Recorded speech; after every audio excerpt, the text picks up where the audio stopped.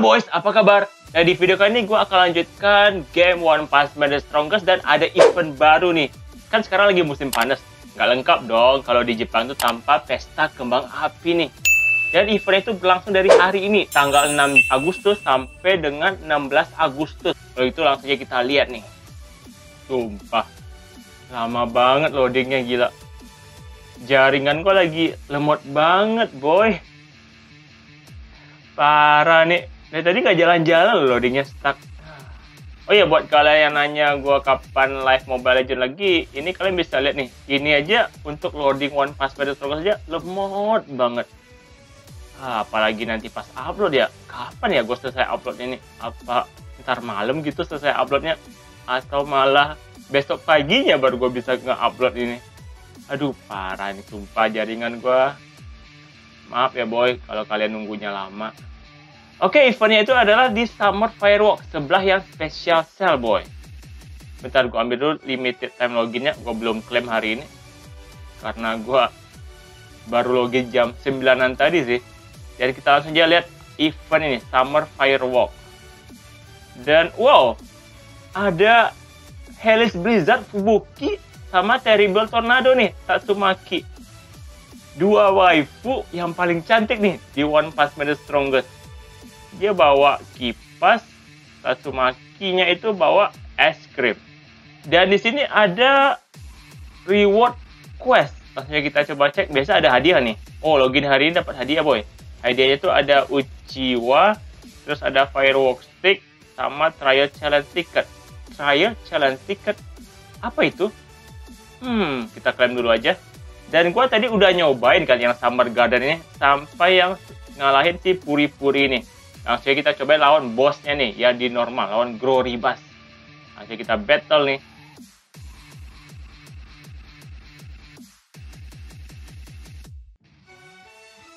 Dan ini internet gua lag lagi dong.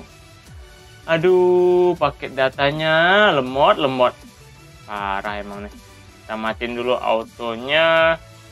Dia damage-nya lumayan sakit kan. Oke, Gue udah ngalahin Grow Ribas dan hadiah yang kita dapatkan. Kok nggak ada hadiahnya? Loh. Nggak ada hadiah yang gitu. Harusnya dapat ini kan. Tapi jumlahnya nggak nggak dikasih tahu atau gue nggak ngeliat tadi ya. Atau karena jaringan gue lemot. Kalau itu kita klaim aja yang kotak yang terakhir ini. Apa isi hadiahnya? Wow, 20 trial challenge ticket sama Uchiwa. Uchiwa ini gunanya untuk apa ya? Dan sekarang gue bisa masuk yang mode hardnya nih. Uchiwa kalau nggak salah tadi di bagian menu depan ada yang garden shop. Nah ini nih Uchiwanya itu atau kipas berarti bahasa Jepang kipas musim panas itu Uchiwa kali ya boy. Nah kita bisa ganti dengan ada SR eksklusif nih. Ada Deep Toga sama Spiky Wait, wow. Sea Toga. Berarti ini punya Sea King kah? Eh, tapi ini SR ya? Sea King kan SSR ya?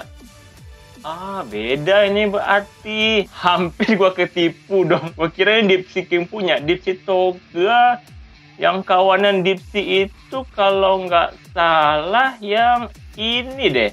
Messenger of Sea Fox. Nah ini nih Sea Toganya buat kalian yang mau naikin si Sea Messenger ini. Nah kalian butuh Sea Toganya. Nanti bisa naik ke bintang 3 nih. Lumayan kan? Berarti skill yang berubah ini adalah yang Corrosion ini. Damage overtime bakal nambah sih feeling gua ya. Kalau kalian ada yang pakai si Messenger of Sea Fog ini komentar di bawah video ini ya. Kalian pakai combo Corrosion itu line up-nya seperti apa nih? Biar kita bisa saling share nih, saling berbagi. Oke, kita lihat lagi hadiahnya yang di Garden Shop. Ada konbu, wow. Buat kalian yang ini juga yang combo corrosion corrode itu loh. Dan juga di sini ada limited voucher. Ini wajib sih kalau menurut gue ya. Kalian tukar, tukar aja langsung lah. Ntar gue lupa lagi. Ntar gue nggak login-login kan, gue malah lupa tukar hadiahnya. Limited voucher ini wajib. Kalau konbu ini menurut gue kalau kalian pakai konbu sih lumayan ya, dapat shardnya. Ini juga ada shardnya super alloy. Ini wajib juga kalau kalian punya tanknya. Buat kalian pakai subterranean ini juga wajib nih. Semua aja hadiah gue bilang wajib.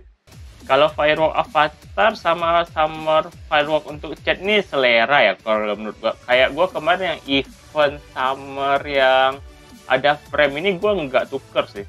Karena gua orangnya nggak peduliin style banget gitu. Reverse ini perlu nih buat kalian yang nyari. Nah ini saatnya kalian tukerin nih Uchiwa kalian dengan reverse card. Buat kalian yang mau reset gitu kan siapa tahu baru dapet Child Emperor kan. Mau reset sama Genos tapi gue nggak saranin sih untuk kalian reverse reverse. Mending kalian build dari awal. Mending kalian farming aja item itemnya kecuali kalian kepepet ya. Terus ini ada tiket tiket ini ya lumayan perlu lumayan enggak lah.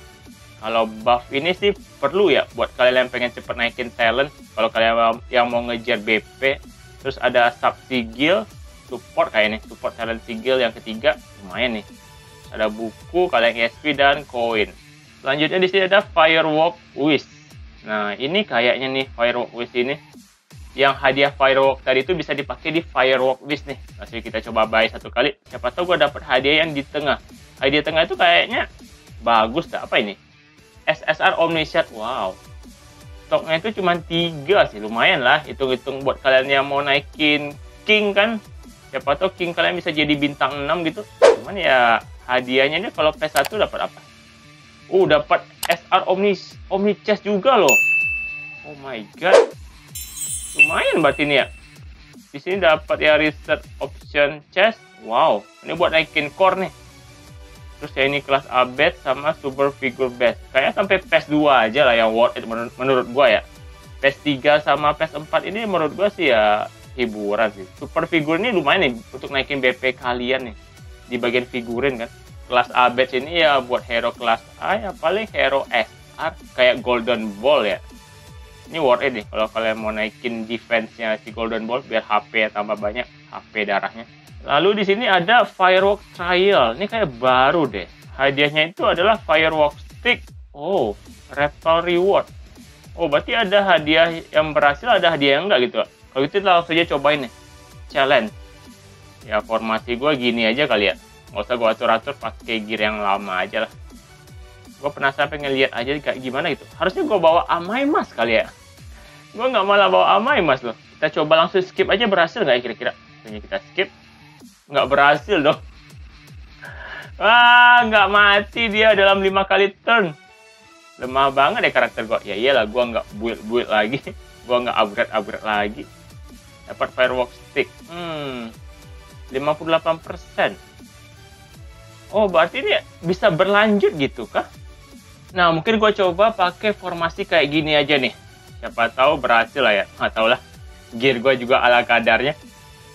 Loading lagi, wifi-nya lemot boy. Pertama kita coba pakai skill ini. Yang ini gue matiin aja, Sonic matiin, Beast King juga matiin. Ntar ada Amai Mas ya. Yang gue penasaran itu kan, hmm, kayak kalau ini pakai King, kayaknya lumayan bagus loh. Kalau king kalian itu speednya pertama kan lebih duluan daripada deep sea king ketika skillnya itu full bisa kalian segel nih. Atau kalian yang pakai Gerugan Hop kayak ini lumayan worth it ya.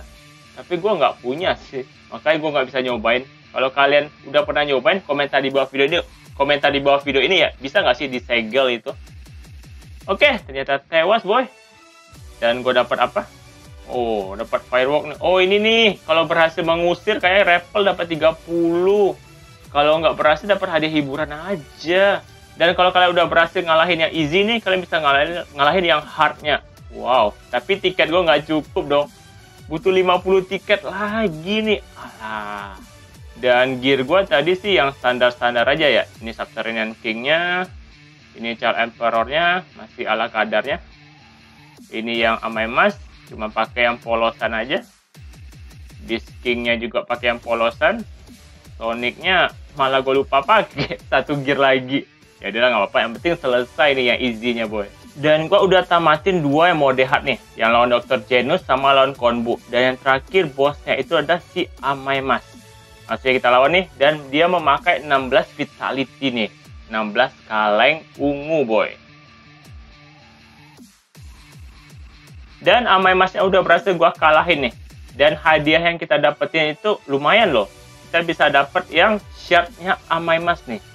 Buat kalian yang mau naikin Amai Mas sampai bintang 7, wajib sini masuk yang mode hard. Dan kita dapat yang trial challenge ticket dan hadiah yang lainnya nih. Dan ada hadiah lainnya yang di kotak-kotak ini, gua ambil dulu aja. Oke, lumayan nih 25 trial challenge ticket sama satu lagi 30 trial challenge ticket nih. Wow. Dan di sini ya, menurut gua kalian wajib nyoba yang hard ini. Tapi kayaknya sehari itu cuman bisa chance-nya itu dua kali nih. Kalau chance-nya itu udah habis, kalian harus beli nih pakai gems. Hmm, beda ya dengan event yang sebelumnya. Biasa mode hard itu bisa unlimited. Sekarang chance-nya itu harus dibeli. Mungkin karena drop utamanya ini shard nih. Satu shard dihargai dengan 20 diamond kayaknya makin lama makin meningkat sih harganya ya nggak mungkin cuma 20 sih biasa di One Pass Media Strongest sih kayak gitu ya jadi gue rekomendasiin kalian kalau kalian mau nyari shardnya Dr. Genus atau nyari shardnya Konbu atau shardnya Amaimas ya kalian bisa bakar chance ini dengan menggunakan diamond kalian dan sekarang gue bisa nyoba yang Deep King yang bagian beastnya nih beast mode. Masih kita coba ini. Kayak gue bakal langsung tewas deh ini. Harusnya sih bawa dokter Genus ya biar awet kayaknya. Cuman nggak apa-apa lah. Gue pakai aja formasi yang berantakan. Kalian nanti bisa nyesuaikan dengan formasi kalian nih formasi unggulan kalian. Kalau kalian bisa ngalahin si Deep Seeking Beast Mode nih dengan formasi line up kalian dalam 5 turn sekali nyoba komentar di bawah video ini ya jadi kita saling sharing ini sih gue auto dibantai sini boy nggak ada obeng sumpah kalau gitu gue akan percepat aja dan kita lihat hasil akhirnya nih. Korotnya ini perih sumpah. Gila, sakit banget nih korotnya. Nyicil dikit dikit dikit dikit. Ini kayak pakai dokter Genus juga bakal susah dah nih boy. Kalau gue lihat-lihat ya. Karena row belakang kita tuh sedikit demi sedikit darah juga bakal berkurang nih. Wah, harus dipakai gear nambah HP nih biar agak tebal. Cuma bertahan ter 4 dong nggak sampai full 5 turn dan darah juga kurang dikit doang alah parah sih tim abal-abal emang oke gue dapet hadiahnya firework stick Oke bos, itulah pembahasan kita mengenai Summer Firework. Ya menurut gue event ini saling berkaitan ya. Kalau kalian mau dapetin tukar hadiah di Garden Shop nih, kalian harus dapetin Uchiwa-nya itu. Uchiwa bisa kalian dapetin dari Summer Garden. Tapi kalau yang hard sih kalian harus bayar bakar pakai diamond ya. Mending kalian yang di normal aja dan pilih yang stats paling akhir nih lawan Groribas. Kalian bisa dapetin Uchiwa sebagai drop utamanya. Dan juga dapetin Trial Challenge Ticket dan Firework Stick.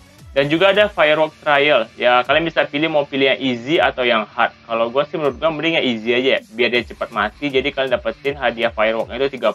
Fireworknya itu dipakai untuk yang firework wish ini. Oke okay, boys, itulah infonya mengenai summer firework nih. Menurut kalian worth it nggak sih? Menurut gue ya lumayan ya untuk mengisi kekosongan di dalam game One Pass Media biar nggak bosen gitu, biar nggak cepat pensi kalau kalian suka dengan channel ini, jangan lupa subscribe dan nyalain loncengnya ya. Dan pilih yang all, agar kalian dapat notifikasi setiap video game baru yang gue upload nih. Dan jangan lupa share video gue di sosial media kalian, di Facebook, WhatsApp, Instagram, semuanya. Jangan lupa selalu bersyukur, terima kasih, dan dadah.